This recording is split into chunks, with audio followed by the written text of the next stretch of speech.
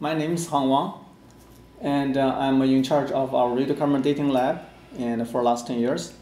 For our radiocarbon dating uh, project, and um, we almost process all kind of uh, uh, datable materials. For instance, this is a mastodon uh, tooth, and we can extract uh, dentin enamel.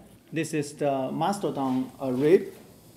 We can extract collagen from this uh, uh, mastodon rib. We have been dated this one of um, uh, 11,160 years plus minus 90 years of this and this mastodon rib. In terms of a tusk, for instance, this is the mastodon tusk.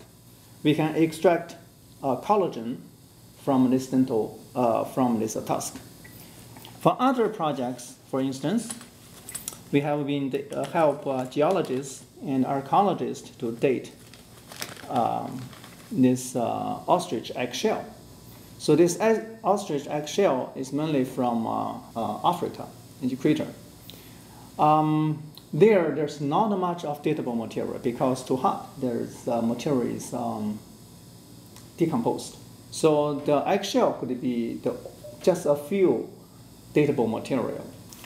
The other um, project is to uh, work with the Illinois State Archaeological Survey.